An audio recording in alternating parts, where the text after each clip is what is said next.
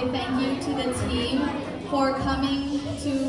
make this ac- activity for us since the beginning until the end today. And I know some of you might might have been your first time here uh, teaching the gospel to the students, and I hope it was a great experience for you. And I hope that if God has more plans for you in the future, that this would be a really great experience for you want to do more in the future. And I hope you guys have a great travel back to Canada, and I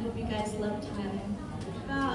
ขอขอบคุณที่ทีมได้มาจัดกิจกรรมตั้งแต่วันแรกถึงวันสุดท้ายก็คือวันนี้ แล้วขอให้เขาได้กลับบินไปที่แคนาดาอย่างปลอดภัย แล้วมันมีบางคนที่มาสอนแบบเป็นครั้งแรกก็ขอให้พวกเราเป็น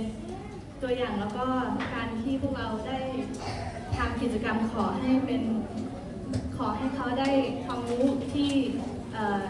เขาจะได้ไปทำในภารกิจของพระองค์